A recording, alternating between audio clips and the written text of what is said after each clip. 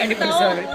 Si Ragil kok ketawain? Mana Udah sih? kelamaan ngomong saudara soalnya dia. Iya, iya. Saudara, saudara. Sampai kapan jadi saudara? Lama banget. Kesel.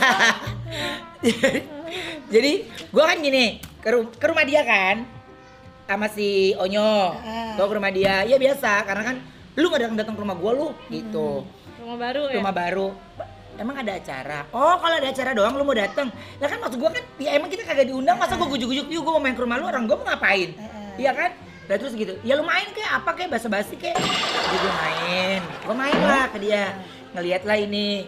Pokoknya tiba pemula omongan tuh di situ di wardrobe. Iya lemari. Iya, ini ntar digeser nih katanya. Oma, kenapa? Udah dikuasain si Ayu. Ntar gue pindahin. Ke mana itu ya Yun? Ngomong sama asistennya.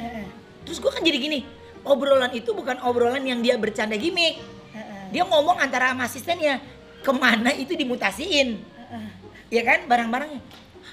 Kok obrolannya serius? Bener gak sih lu ngomong gitu? Dikata gue, lah gue bener apa kagak ngomong kayak begitu? Karena gue ke sana tahu, aku nggak tahu.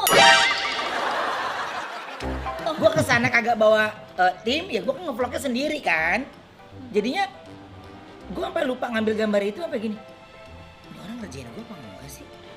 Tapi kan kalau Yuni itu kan orangnya ketahuan kalau pers kan.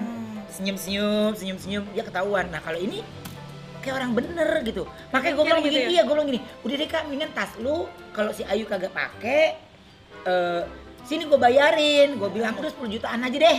Gue bilang buat bini gue. Gue bilang begitu kan. Gue ambil 10 nih kalau 10 jutaan. Mau diamuk si Ayu loh Ayu. Gue mikir lagi kan? Diamuk si Ayu. Enggak lu bener gak sih? Lu kan temennya. nah itu sebentar gitu terus deh ya. Lu kan Gua temennya. malah ntar kalau bener gue jadi sama dia ntar lu bela dia.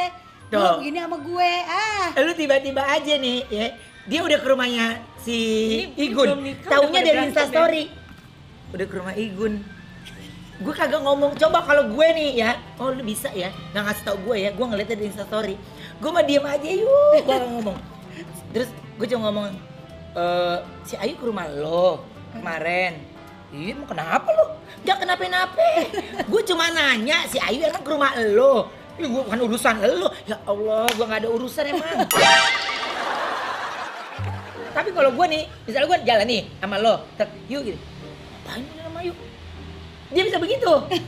Ngerti gak? Ya, makanya gue bilang begini, gue dikerjain apa enggak sih sama si Ayu sama si Igun nih? Gue gak paham. Jadi Terus tiba-tiba gue gua? dari malam ngeliat ada di kondangan dia sama ibu. Iya. Terus ada captionnya dia apa gitu? Nemenin ibu, Ibu kondangan. kondangan. Hah, Kok udah nemenin mertuanya aja ini? Gimana sih ini ceritanya?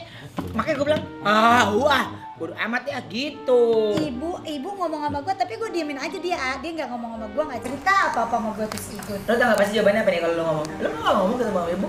Lah kenapa? Ibu-ibu gue juga. Iya, pasti gitu. jawabannya Pasti gitu. Dia gak mau Pasti, kalah nggak mau gitu. kalah. Nah